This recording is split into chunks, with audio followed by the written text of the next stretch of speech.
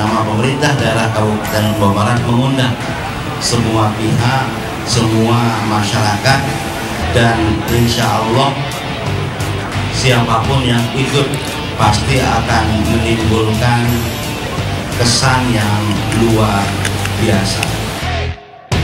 Dalam rangka kegiatan launching Beli-Beli Mekaki Marathon 2018 di Mekaki, Lombok Barat.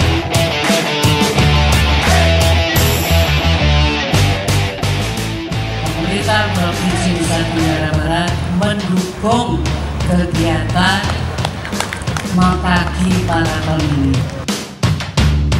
Saya ikut. Saya ikut. Saya ikut. Aku ikut. Kamu? Lombok Bangkit. Lombok bangkit. Lombok bangkit. Lombok bangkit.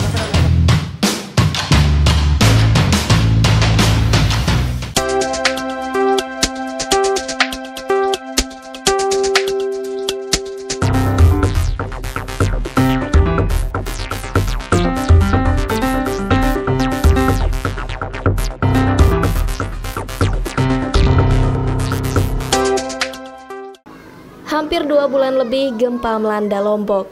Aktivitas mulai nampak kembali normal, begitu juga dengan aktivitas pendidikan di SD 2 Sigar Penjalin, Kecamatan Tanjung. Nampak terlihat siswa-siswa yang begitu semangat dalam belajar, meskipun di tenda darurat dan halaman sekolah, karena beberapa bangunan sekolah ini sudah hancur akibat gempa. Dengan perjuangan yang keras dan pantang mundur, para guru mencari murid-muridnya untuk masuk sekolah meskipun dengan fasilitas dan keadaan seadanya. Total siswa SD 2 Sigar Penjalin ini sekitar 187 orang dan satu orang di antaranya meninggal dunia saat gempa. Anak-anak korban gempa ini seakan sudah melupakan gempa tersebut dengan keceriaan mereka belajar. Trauma healing terus ditanamkan oleh guru-gurunya.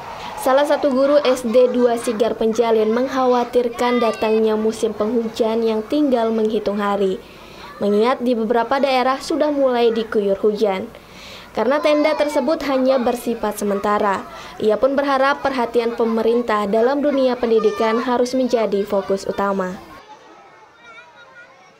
Betul-betul panik, tidak ada apa namanya proses belajar mengajar, tapi tinggal tiga minggu setelah itu baru kita apa namanya eh, berbenah mencari anak-anak yang yang dekat-dekat posko gitu jadi baru kita merencanakan untuk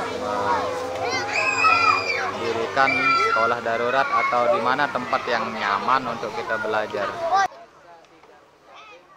Dari Lombok Utara, Nusa Tenggara Barat, Aris Munandar, Ket TV.